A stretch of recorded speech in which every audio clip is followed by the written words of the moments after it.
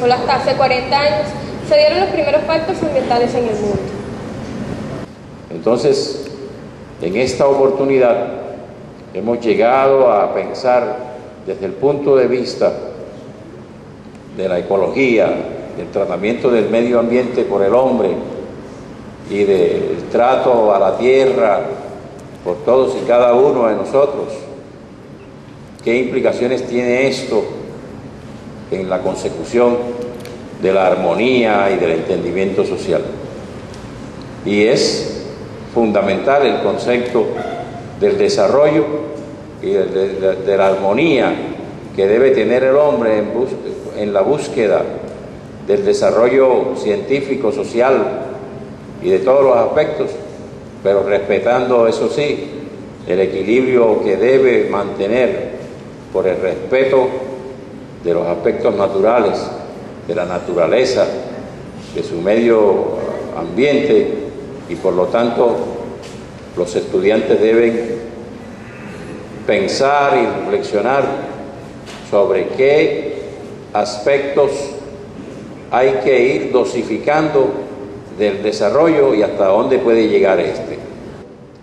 Este Congreso, durante cada versión, ha tratado temas acordes con las necesidades sociales del momento y todo en pro de la paz del país. En esta oportunidad trae un tema candente que está en la palestra en todas las esferas que constituyen esta aldea global y como lo decía el doctor Esteban López, en busca del equilibrio del desarrollo, de la productividad y del respeto por la naturaleza. Uno ve noticias ambientales y lo primero que ve, por ejemplo, es corrupción. En estos días se hablaba de los títulos mineros y cómo durante algunos gobiernos feriaron los títulos mineros en Colombia.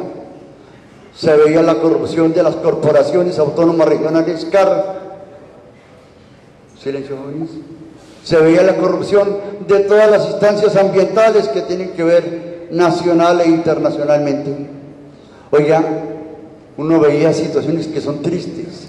De pronto veía barcos transnacionales llevando desperdicios nucleares a ver en qué país podían votar esos desperdicios nucleares.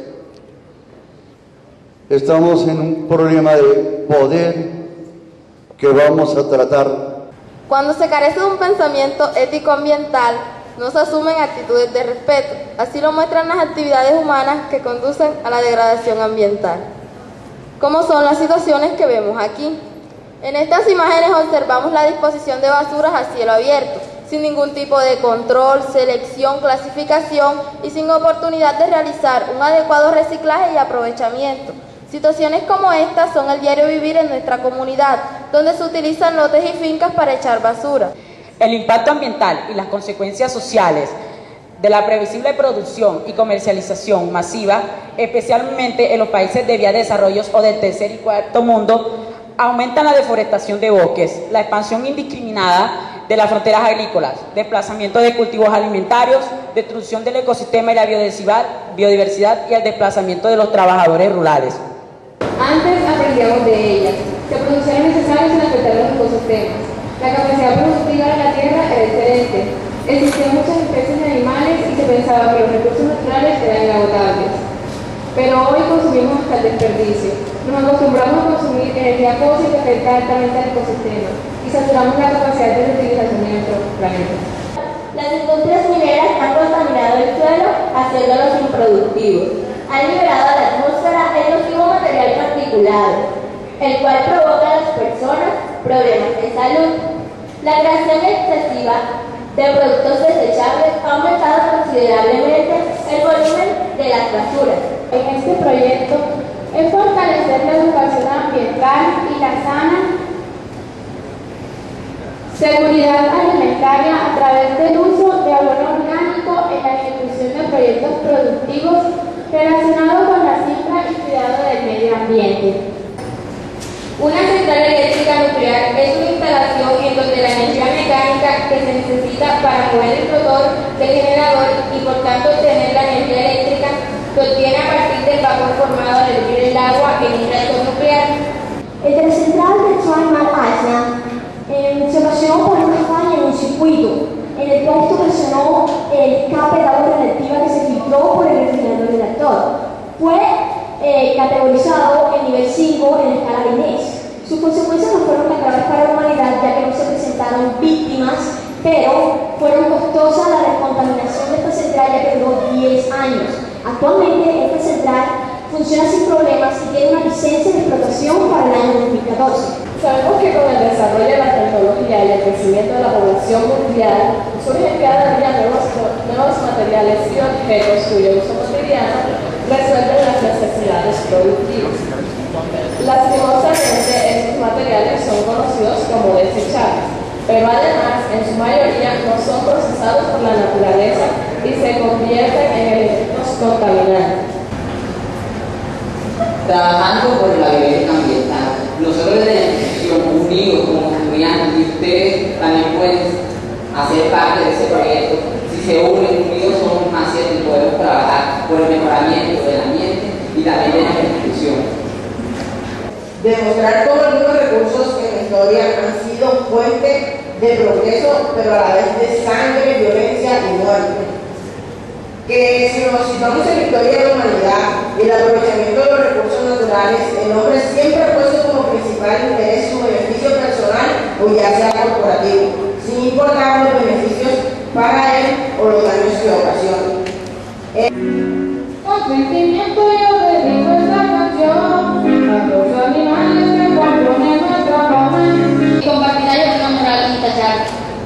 Política de gobierno sobre todo la planificación económica y social son para el beneficio de los pobres. Yo nunca utilizo mi privilegio mi poder para beneficios propios. Coltán. Una mezcla de colomitas sanzalinas. En abreviado se llama coltán. Es un metal apagado que se encuentra en importantes cantidades en varios lugares del mundo. Cuando se refina llega a ser tanto de metal, un polvo resistente, resistente al calor, que soporta las altas temperaturas y las altas cargas eléctricas. Fisión nuclear. En química y física, la fisión es un proceso nuclear, lo que significa que tiene lugar en el núcleo del átomo. La fisión ocurre cuando un núcleo se divide en dos o más núcleos pequeños. Estos subproductos incluyen neutrones libres, generalmente rayos gamma, alfa y beta. Y la fusión nuclear, en química y física, es el proceso mediante el cual dos núcleos se unen para formar uno solo de mayor peso. El coltán es un mineral que en su estado natural se encuentra en minas superficiales, es decir, a cielo abierto, prácticamente no hay que cavar para poder extraerlo. Y está compuesto por la combinación de dos minerales, aunque son Hubieron 140.000 muertos en Hiroshima y 80.000 en Nagasaki. Lo que queremos resaltar es que el 15 20% de las personas murieron por la ra- radiactividad y otros fueron por leucemia y otros tipos de cáncer como el de piel. En la minería a cielo abierto se utilizan grandes maquinarias, explosiones, como para, para cavar el territorio, para excavar, se utilizan explosiones, grandes maquinarias, que primero generan contaminación auditiva. Las grandes maquinarias, esos ruidos que generan son, son de inmensa frecuencia. Bueno, la contaminación nuclear son aquellos elementos químicos que se encuentran en la atmósfera que no tienen ningún propósito en común. Estos elementos producen cierto tipo de radiaciones en los seres vivos y en la naturaleza. Los pensamientos de la mente nos hacen lo que somos, nos forman y modelan. Si albergas en tu mente pensamientos inferiores, el dolor te seguirá como sigue la buena. Si en cambio tus pensamientos son elevados, te seguirá la dicha como tu propia sombra. Compañeros, todo en la mente, todo en el corazón. Nos hemos visto a lo largo de la jornada que nos han presentado los compañeros las diferentes problemáticas que existen. La ley es lo que debemos hacer, la moral lo que supuestamente hacemos y la cultura lo que realmente hacemos. Bueno, el problema ambiental es un problema económico. Si nos referimos a Samuelson con el desarrollismo, encontramos que todo el mundo cree que la forma más efectiva de hacerse ricos es explotar nuestros recursos. Pero, ¿por qué no utilizamos teorías tan simples como la del desarrollo sostenible? Solo tendríamos que servirnos de la naturaleza respetando los límites, de manera que lo que hagamos hoy no tenga consecuencias desastrosas mañana. En Colombia tenemos firmados protocolos, protocolos como el de Kioto, como el de Río de Janeiro y como el de Johannesburgo, en donde supuestamente a través de estos protocolos o normas internacionales nos comprometemos a optar por medidas políticas. Sin embargo, en nuestro país, Colombia, debemos hablar de doble, triples o cuádruples leyes, en donde tenemos una constitución y tenemos normas legislativas. Pero no es raro que mientras estemos hablando de constituciones ambientales, al mismo tiempo se esté hablando sobre el acuerdo sobre el cristal canadiense para la explotación del páramo de. En realidad hay un problema ambiental. El problema es que no tenemos una moral, tenemos muchas morales, no tenemos una moral unificada. Otro problema será en la pobreza. El 40% de la población en Colombia es pobre, el otro 20% es marginación. Esto suma un 60% de la población. ¿Y el otro 40% qué? El otro 40% de los ricos, los que tienen dobles morales. En conclusión, hemos tratado problemas económicos, problemas de leyes que nos dan a conocer el problema ambiental desde diferentes enfoques. Pero recordemos algo, no necesitamos leyes ni economía para que haya vida. Pero si no hay vida, no hay ley ni economía. Problema ambiental, un problema de vida. Muchas gracias.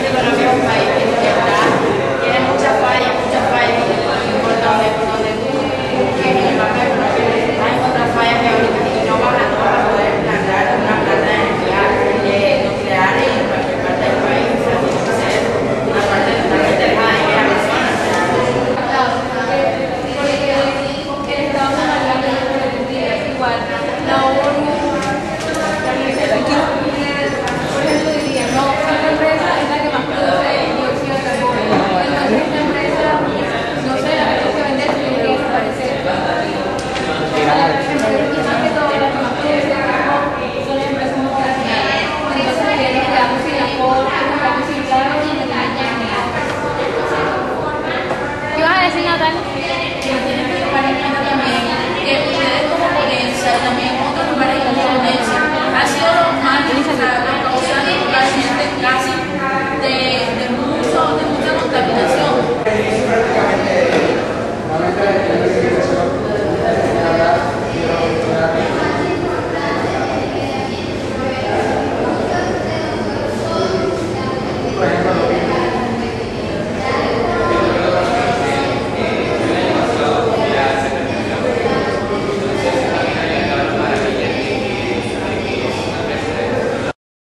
mina donde está el, el- el mineral, ya cortaríamos una parte de lo que conocemos como el pulmón de la Tierra.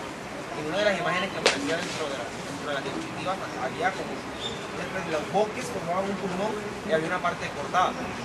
Si nosotros quitamos el oxígeno del planeta, ¿qué pasaría? Pues, toda la vida, todo lo que existe hoy, que tiene vida, pues se acabaría, no existiría ya. Entonces no vale la pena Eh, eh, más adelante nuestro, Pero será de sí. nuestros hijos. ¿Y quién más que nosotros para cambiar esto? Para lo que estamos viviendo hoy en día. Ya nuestros papás hicieron, eh, no nos trajeron aquí al mundo, tal vez para cambiarlo. ¡Qué belleza! O sea, nuestros papás, nuestros abuelos, nuestros antepasados ya hicieron. Tenemos que hacer, somos nosotros y por eso yo sí tengo esperanza. Ya. Bueno, y por eso ahí está, podríamos usar eso como respuesta a lo que tú dijiste antes, de que ah, venimos, a este, venimos a este congreso y luego vamos a, a botar basura.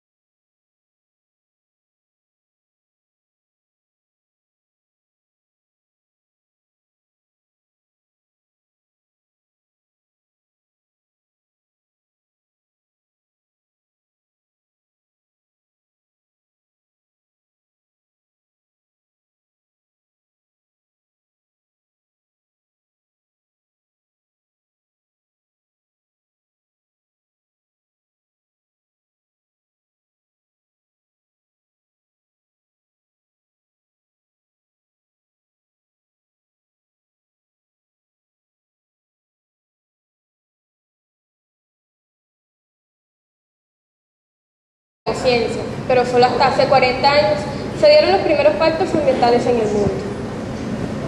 Entonces, en esta oportunidad hemos llegado a pensar desde el punto de vista de la ecología, del tratamiento del medio ambiente por el hombre y del trato a la tierra por todos.